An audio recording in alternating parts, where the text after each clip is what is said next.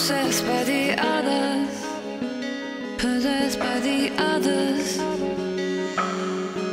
Tonight, oh, trouble, oh, tonight.